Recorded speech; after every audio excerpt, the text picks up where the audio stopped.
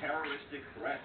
Prosecutors say the art instructor was in a teacher's lounge at Fort Hamilton High School when she made the threat.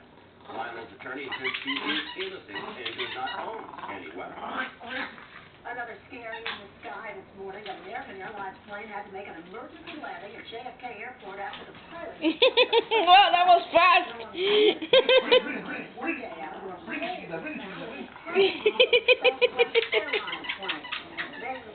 The mojito wants to jump in. The mojito, the mojito. Then you gotta. ¡Qué mojito!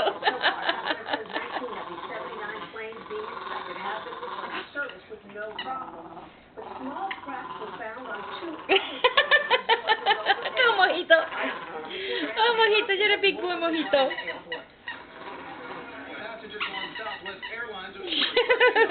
Mojito is so happy porque tiene grab el little corn. As a hole was ripped in the plane as it was